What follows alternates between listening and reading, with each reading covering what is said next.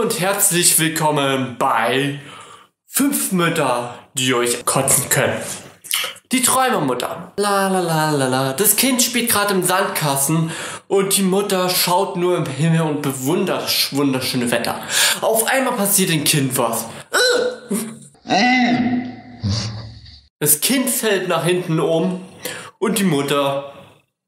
Oh, es ist ein schönes Wetter. Oh, guck mal die Wolke an. Hm. Kind, was ist hier passiert? Und auf einmal fällt es ihr auf, dass dem Kind was passiert ist. Die Aktionsmutter macht viele Erlebnisse mit euch, bucht gerne und sie versucht euch zu motivieren, dass ihr sportlich seid, Gewicht heben und Bodybuilding, Boxen, alles was euch aktiv macht, macht die Mutter mit euch.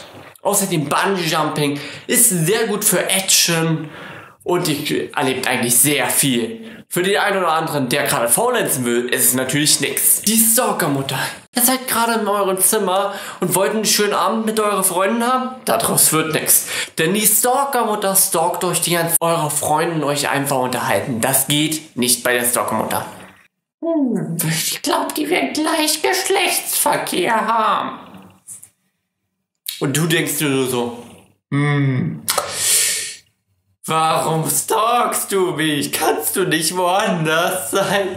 Ich will Ruhe haben mit meiner Freundin und nicht von dir genervt werden.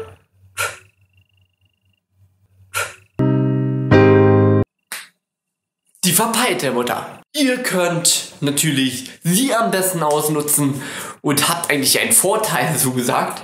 Denn die verpeilte Mutter vergisst sehr viel.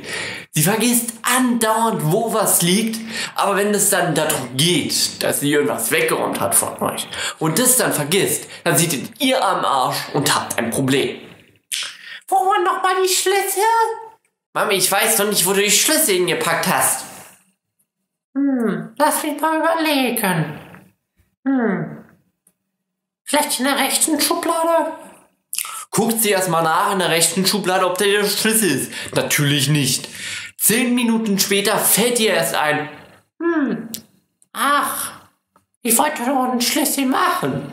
Und schon hat sich die ganze Situation geklärt. Aber erstmal die ganzen Radau getrieben, dass sie irgendwas vergessen hat, wo es ist. Und ihr sucht dann die Wohnung danach. Das ist natürlich ein Unding. Die Strafanstaltmutter. Ihr habt ein schlechtes Zeugnis. Ach, mit der Mutter ist gar nicht zu spaßen. Ihr zeigt das Zeugnis. Mein Zeugnis. Ich hab aber eine 3 geschrieben. Eure Mutter. Lass mich erstmal schauen.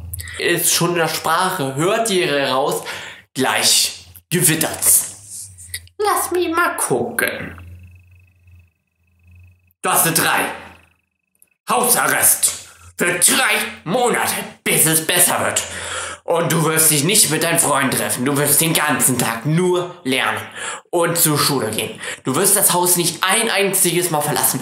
Du wirst die ganze Zeit zu Hause bleiben. Ist das klar? Ja, Leute, wenn es euch gefallen hat, dann lasst uns noch mal da. Lasst bleiben. Ciao, Leute. Bis zum nächsten Mal. Haut rein.